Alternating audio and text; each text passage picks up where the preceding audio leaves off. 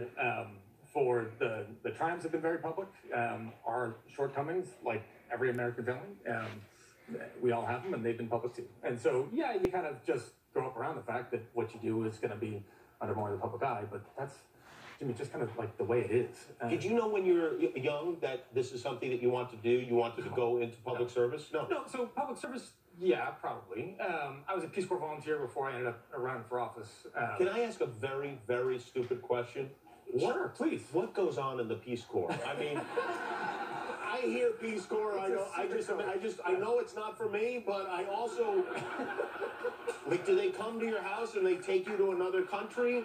No, you actually got to get on a plane. You have to get on a plane You and get on go there. This is Um, voluntary, though, right? It is. It's not a punishment. That's the volunteer part. Okay, Right. all right. Um, so, uh, look, for of the experiences I've had in my life, there hasn't been one that has been more impactful for me. Roe, it's just a very positive spirit. It's a very positive. Yeah. Now, look, it's not for everybody. Um, you spend, I spent two and a half years or so in the Dominican Republic. Um, intermittent electricity, intermittent running water. Um, You habla español? see, hablo español. Oh, wow. Yeah, you know, by the way, and, and this is, I don't want to be a profiler, but if I were to line you up with a thousand other people and they said, which one of these men speaks Spanish, you'd be the last one I pick. which actually has its benefits at times. Yeah, Uh, sure. You can bust some people on it, which is great when it happens.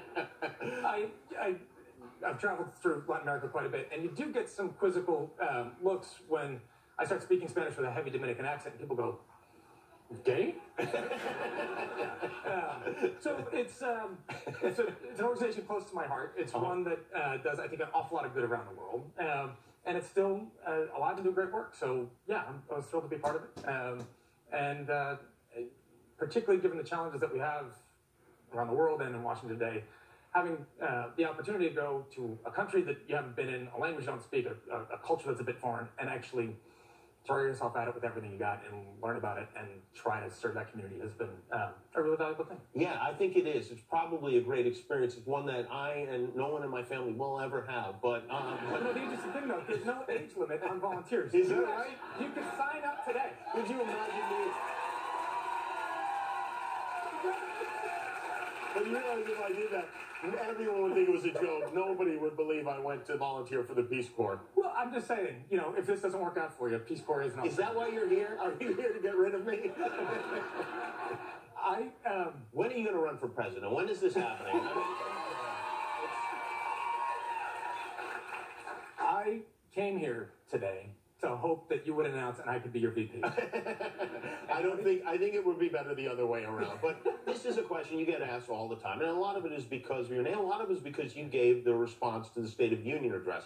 The Democratic Party chose. Did they choose you, or was this a punishment? Because usually that goes badly. So that's an interesting question, and the answer to that is, uh, I actually think unclear. Um, so, uh, regardless, I got asked, and I was thrilled to do it. I got asked by uh, Leader Pelosi about um, a week before the speech. Oh, that's all.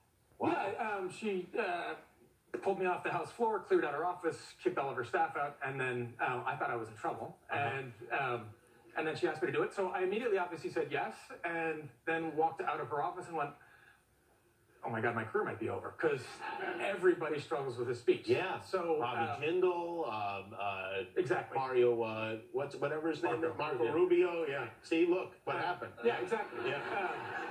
The good news, the biggest takeaway for me from that experience is it has um, solidified for me the generosity, the compassion, the caring of the American public. I have gotten tubes of chapstick from every damn corner of Yeah, I bet. Yeah.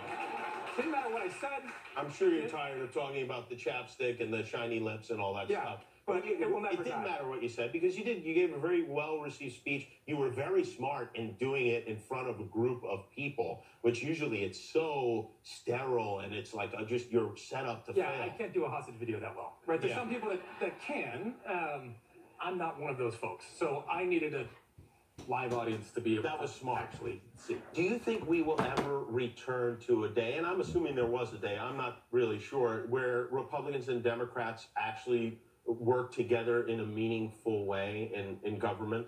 Uh, yeah, I do. I hope so. There's there's more of that going on than the public sees. Some of my closest friends in Washington are in fact Republicans. Who's your best friend that's Republican?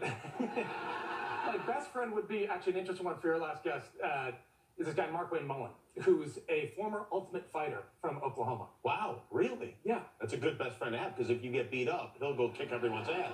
yeah. Um, so he got me to sign on to some bill about um, protection of Ultimate Fighters in in in, uh, in the industry, um, and people wonder why I signed on. It's like, wait, when you bring in a whole string of Ultimate Fighters that can kill you 16 ways from Tuesday, You sign. sign on, you sign. Yeah, you right? sign anything. Exactly. Well, maybe that's a good plan for Trump because we got a lot of problems. We bring in some ultimate fighters and maybe he'll do what needs to be done. Do you get your Trump news the way we all do, just from like the, uh, t- Twitter and and then do you guys? And I, I want to talk about, and I don't want to name anybody specifically, but your Republican colleagues, do they also go like, "Oh no, what is this? What has happened here?" Yes. They do. Yes.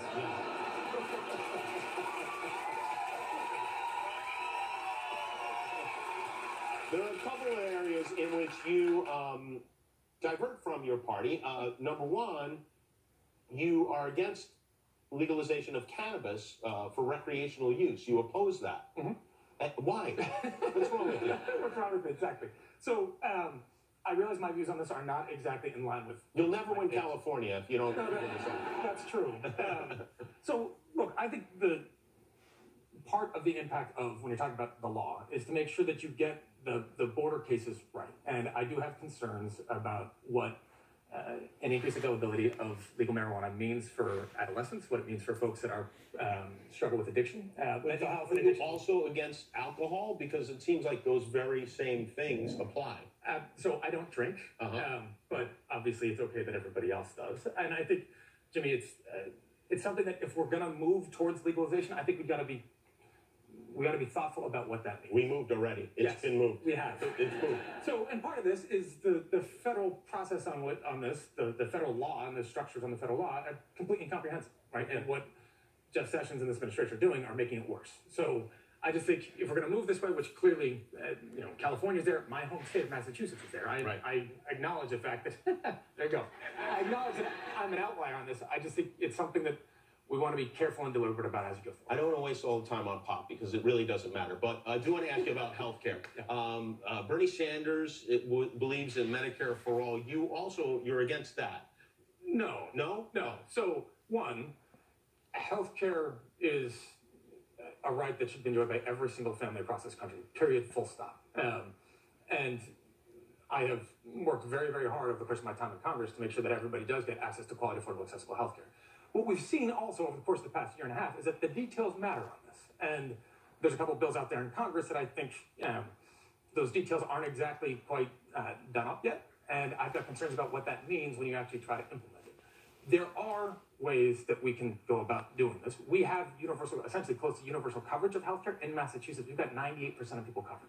Um, we need to make sure, look, the basis on this, um, I quote you on this even though I've never mentioned before, right? Needs to be this idea that every single person in this country, nobody should worry about whether they can afford to save their child's life, right? Period.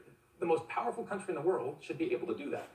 Healthcare itself uh, in this country, I think it boils down to a fundamental question. It's how are we going to treat people at their time of deepest need?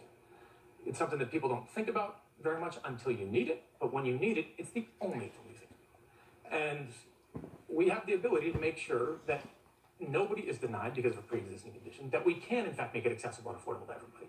We want to make sure, I want to make sure that we do that in a way that is responsible, that is accurate, and that covers everybody. And I think we can do that, but I think we got to be thoughtful about it. That's all I'm asking. All right, well, go do it because we need you to do it. Okay.